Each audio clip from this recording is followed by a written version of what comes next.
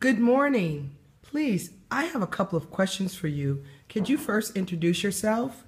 Sure. I'm David Curtis. Uh, I'm the Green Party candidate um, for Secretary of State last cycle, and I've just filed in the presidential race uh, for next cycle, 2020. So, it'll, so my campaign committee will be David Curtis 2020.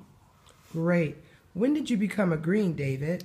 I have a similar story as yours. Um, in 2000, uh, I learned that Ralph Nader was running for president, and uh, I just really respect Ralph Nader, and I was I was immediately on board. And at that point, I didn't honestly even know what the Green Party was, uh, so I, I, changed my registration to Green, um, and I supported Ralph Nader, and so that's how I found them. Great. We have been talking earlier about some of the challenge and difficulties getting a second party uh, campaign registered for the presidential elections. Can you give us a history, a little bit of background about ballot access, and then share some of the challenges you've been facing? Oh, sure. Well, the Green Party uh, really is a, as a European construct, and most of them operate uh, within parliamentary governments. And so that type of governmental structure allows small parties to grow. Um, the United States doesn't have a parliament. They're kind of a winner take all capitalist society. So they've historically had only one or two major parties, and they don't really allow, the structure organically doesn't allow for a third party to grow. Um, plus, uh, the United States is sort of ignorant in general of the dilemma of a third party attempting to grow. Um, so, so there's a lot of uh, system blocks to us. Um, and right now, the Greens are on the ballot in about half, a little less than half of the United States. Okay. And we're actively trying to get ballot access in all of the states.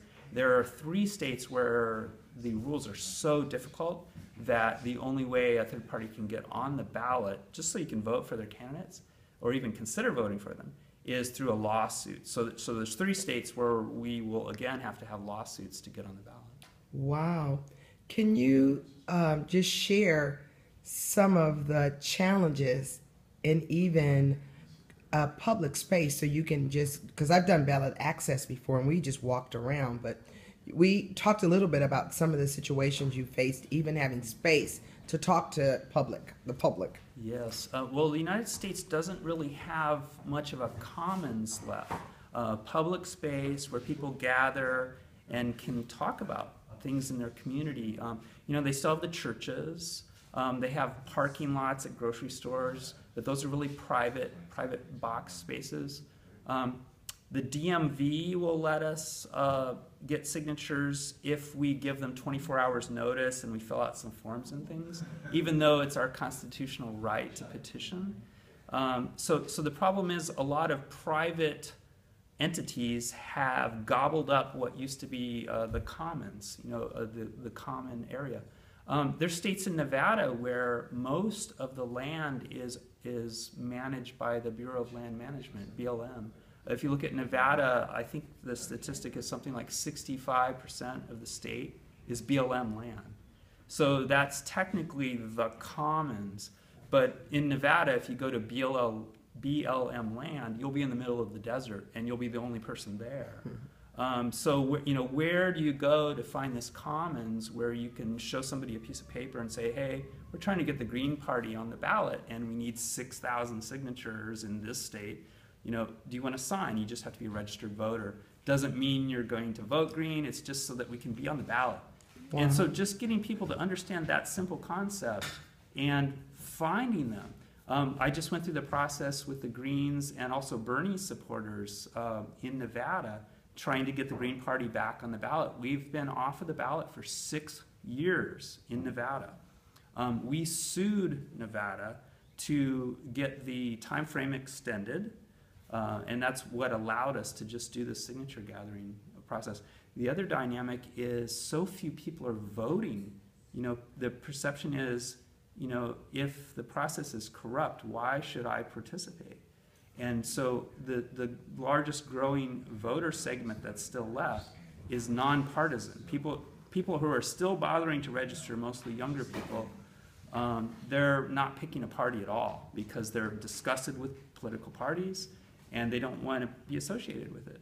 Um, but the unfortunate thing is, fewer and fewer people are actually voting. So the people that are elected are being picked by a super minority. Um, so we don't, we literally don't have democracy. Um, Jimmy Carter said this recently. We, we don't have a functioning democracy. Um, and it's been that case for a while. Um, so, you know, those are some of the issues we're struggling with. Um, the other thing is just name recognition. Um, still, if I bring up the Green Party in the Commons or Jill Stein or one of our other candidates, nobody knows what I'm talking about. I've had police officers not understand what the words Green Party mean. Wow. Um, when I went to a Bill Clinton um, event, he was uh, having a rally for Harry Reid in Nevada. And I was pulled out of the lineup. Uh, I was sitting there reading a book. I was pulled out and questioned by undercover cop, Secret Service, and Metropolitan Police Department. The Secret Service man didn't know what the words Green Party meant.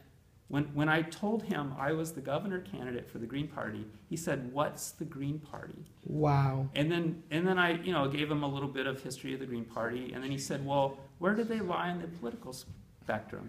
And I sort of fudged a little. I said, "Well, they're in the middle. They're between the two major parties, which most people would characterize us as left, right? But I personally am really moderate. So I, I personally am right in the middle um, as a Green. hmm Uh, so I told him that line, you know, we're, we're in the middle. And then he, he, you know, he, he said he would allow me to go back to this event, but there were a lot of cops around. So, so he's basically cautioning me. Right. And I was an invited guest of Harry Reid. I was on the list. So, so th- that's some of the stuff that Green Party members go through. Um, we, we have had Greens rush stages, so I'm guessing that's where he was coming from. But which is it? Does he not know what the Greens are, or is he protecting the world from the Greens? You know? which version of the Secret Service is he that day? So.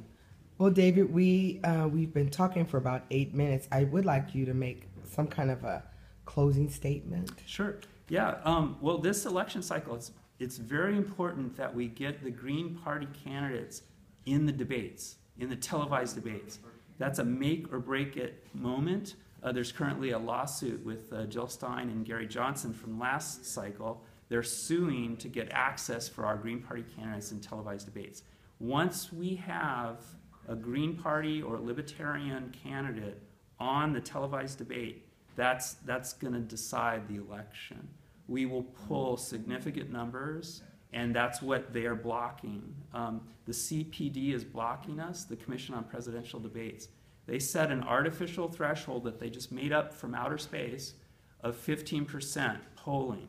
So the only way you can poll as a candidate in 15% is if you're Donald Trump, or if you're a multimillionaire, or you happen to own a media syndicate. Um, so that's the problem. And I personally have complained to the IRS twice in writing now, asking them to punish the CPD by removing their nonprofit status or asking them to change the threshold to a reasonable number, you know, 5%, 2%, something that's actually attainable by humans on the planet. Um, that, that's the problem right now. So I've issued, a, I've done all I can as a, as a citizen. Uh, Stein and Johnson have an active lawsuit. Hopefully, it will get resolved quickly so it can affect the current uh, campaign. Um, but part of the reason I filed for the next election cycle is if I have to, I can become a, uh, a person with standing in that legal action against the CPD. CPD was created by the heads of the two major parties specifically to prevent a third person from the debates. Thank you so much, David. Keep the good work up. It's so nice to meet you today. All righty.